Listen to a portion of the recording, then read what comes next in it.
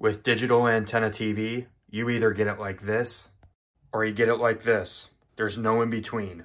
Now, a lot of people may be concerned about the quality of antenna TV. The station that I'm currently on is um, out of market station, Fox Rochester right now. But as you can see, it's in HD. So this is 720p. There's also 1080 as well. So I can go to a station like WGRZ, which is uh, our NBC affiliate.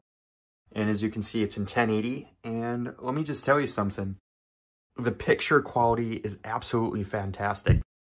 There are a lot of misconceptions about free broadcast TV in the United States. Many people think you need an HD antenna to pick up HD broadcasts. This is completely false. A TV antenna from the 1940s could pick up digital signals today. Antennas are pieces of metal that are cut to specific lengths to pick up certain frequencies. A model like this that uh, usually claim 150 mile range, which I can tell you right now is impossible for the majority of the country, just based on the curvature of the earth. But a model like this does not work very well. It will, it'll pick up stations decently if you're in a good signal area, but the problem is it's very cheap and if you have it outside, it didn't last very long. And you can just see the elements are broken, tried fixing it, doesn't work very well.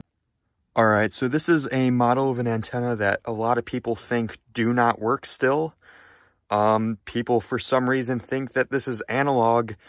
Antennas are pieces of metal. If I can reiterate that again, there's no difference between an HD antenna and something like this. Broadcast TV is divided into three sections.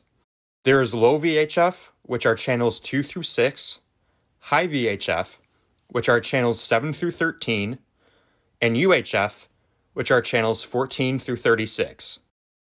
Most broadcasters use the UHF band because they require small antennas for reception, can travel building material the easiest, and is also less prone to electrical interference, such as from LED light bulbs where that center is, this is the UHF element in there. So again, when I talked about smaller antennas for receiving, this is what I'm talking about.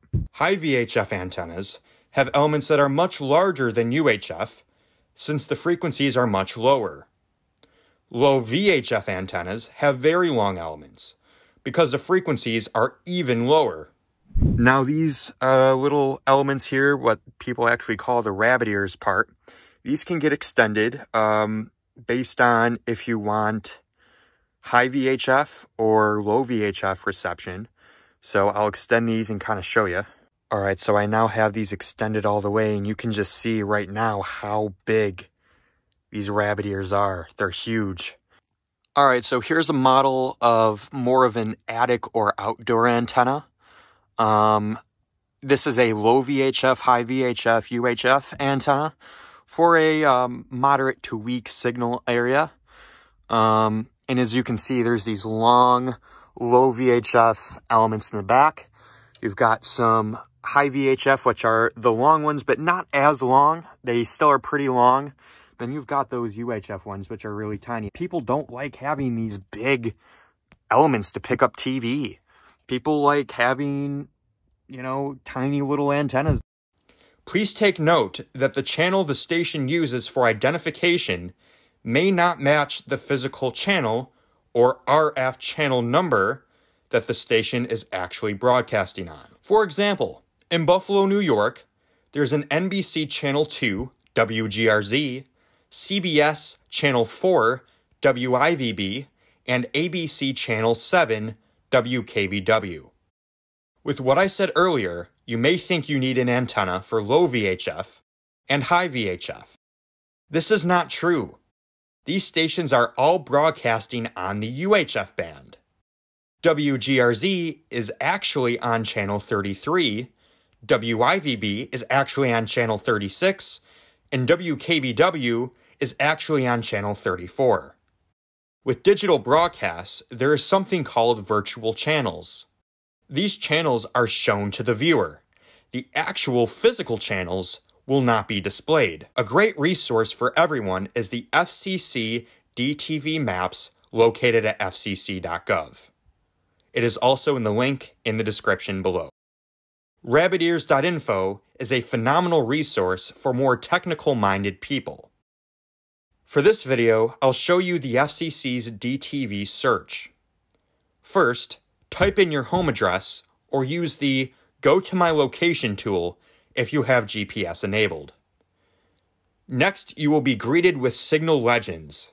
Green is best, yellow is okay, brown is pretty bad, and red is really bad. Scroll down and look at what stations you have. If you have certain stations in mind, make sure you locate them in the results. Next, find the signal level using the legend at the top. Once you have located the stations you would like to receive, along with the signal level, go over to where it says Band. Look through the results to see what bands the stations are on. UHF will be picked up the best with a UHF antenna, high VHF the best with a high VHF antenna, and low VHF will be best with a low VHF antenna. Please keep in mind as well, you may pick up stations on an antenna that is not made for a specific frequency just because the signals are very strong. You can look at one of my older videos and see how you can actually get TV signals if the signals are strong enough with a paperclip. And to my knowledge, paperclips aren't meant to pick up TV. Make sure you aim the antenna towards the broadcast towers for the best possible reception. The description of this video contains great models of antennas used for indoor, attic, and outdoor antenna reception. If you want an antenna recommendation, feel free to leave your zip code in the comment section below. I hope you have enjoyed this video, and I hope you are now more informed about digital, over-the-air antenna TV.